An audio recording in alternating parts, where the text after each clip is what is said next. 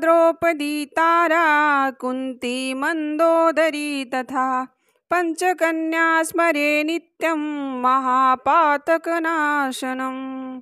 अहिल्या, द्रौपदी, तारा कुंती और मंदोदरी इन पाँच कन्याओं का नाम स्मरण करने मात्र से आपके समस्त पातक, समस्त पाप नष्ट हो जाते हैं। राधे राधे दोस्तों, जय श्री कृष्णा। स्वागत है आपका हमारे चैनल पर। तो आज इन्हीं पंचकन्याओं में से एक जो मंदोदरी हैं, उनके बारे में जानने का प्रयास करेंगे। रामायण में भगवान श्री राम माता सीता, हनुमान जी, विभीषण, लक्ष्मण जी, इन सब पात्रों को बहुत विस्तृत रूप से बताया गया है, चूँकि रामायण इन्हीं के इर्द गिर्द घूमता है। लेकिन उनमें से एक पात्र थी मंदोदरी, जिनके बारे में बहुत संक्षेप से बताया गया है, बहुत छोटा बताया गया है।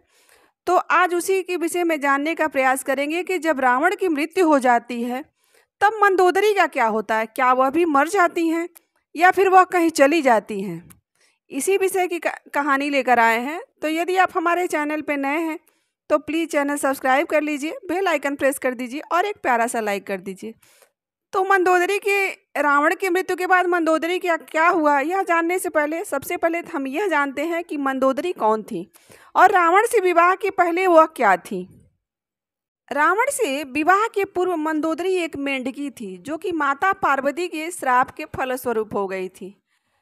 कहा जाता है कि एक पौराणिक कथा के अनुसार, एक बार भगवान शिव तपस्या कर रहे थे। उसी समय एक मधुरा नाम की अप्सरा, जो कि घूमते घूमते उस कैलाश पर्वत पर पहुँची और भगवान शिव को देखकर मंत्रमुग्ध हो गई। भगवान शिव की तरफ़ आकर्षित हो गई जब कुछ समय के बाद जब माता पार्वती वहाँ पर आती हैं और उसको देखती हैं, तब उन्हें क्रोध आता है और उसे श्राप दे देती हैं कि जाओ तुम बारह वर्ष के लिए मेंढकी हो जाओ।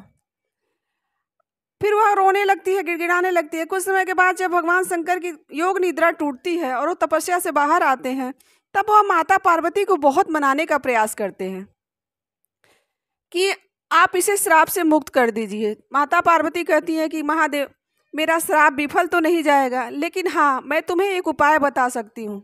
जाओ तुम बारह वर्ष तक कठोर तपस्या करोगी, उसके बाद तुम्हारा वह अप्सरा वाला रूप पुनर्प्राप्त हो जाएगा।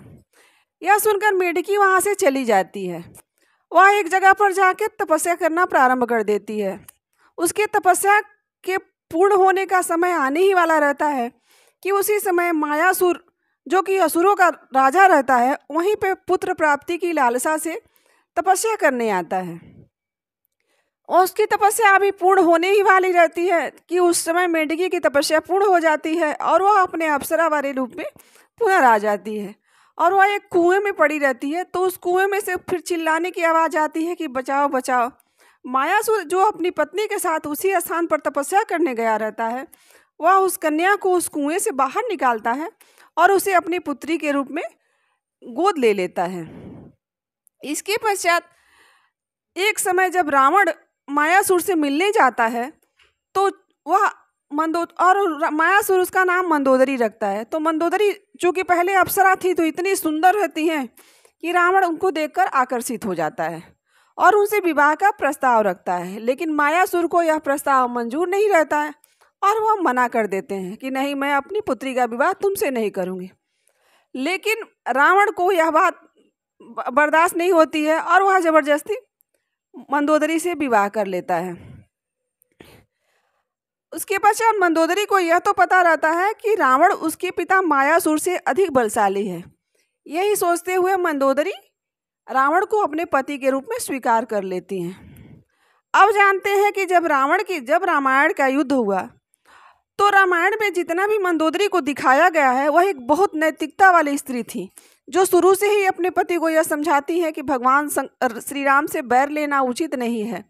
किसी भी पराई स्त्री को उसकी अनुमति के बिना उसको छूना या उसको हरण कर लाना यह महापाप है। जितना भी मंदोदरी को दिखाया गया है, उनको यही दिखाया गया है कि बहुत धार्मिक प्रवृत्ति की और बहुत सत्य मार्ग पर चलने वाली महिला थी, इसीलिए उन्हें पंचकन्याओं में भी गिना जाता है।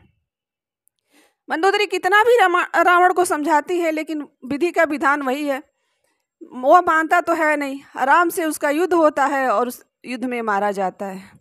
जब रावण की मृत्यु हो जाती है, उस समय लंका में विरोधाभास शुरू हो जाता है, लंका में विद्रोह शुरू हो जाता है, क्योंकि लंका दो धड़ों में बटने लगती है। कुछ लोग जो धार्मिक प्रवृत्ति के थोड़े बहुत रहते हैं, वह विभीषण का साथ देने लगते हैं और कुछ लोग जो राक्षसी प्रवृत्ति के हैं, वह कहते हैं कि नहीं, विभीषण ने अपने भाई के साथ धोखा किया, ये हमारा राजा नहीं हो सकता। और जब रावण का जब रावण की चिता जलाई जाती है तो कहते हैं कि मंदोदरी भी उसमें समाहित होना चाहती थी, वो भी उनके साथ अपना शरीर त्याग देना चाहती थी। लेकिन भगवान श्री राम उन्हें समझाते हैं कि यह उचित नहीं है, आप यह नहीं करिए तो मंदोदरी भगवान श्री राम की बात मान जाती है। क्योंकि इतना सब कुछ हुआ था या रावण मारा गया था, उसके सभी पुत्र मारे गए थे उसके पश्चात भी मंदोदरी कभी इन सब चीज़ों के लिए भगवान श्री राम को जिम्मेदार नहीं मानती है। वह यह जानती है कि जो अधर्म करेगा, उसका परिणाम यही होगा।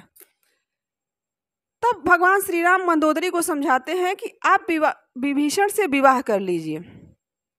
वैसे तो वाल्मीकि रामायण या रामचरित मानस में इसका प्रसंग कहीं भी नहीं है, लेकिन एक आध जगह जो और भी बाद में अद्भुत रामायण लिखा गया है एक आध जगह कहानियों में इस चीज़ का विस्तार से विवरण किया गया है कि मंदोदरी को भगवान श्री राम ने कहा कि आप विभीषण से विवाह कर लीजिए। मंदोदरी इस प्रस्ताव को नहीं मानती है।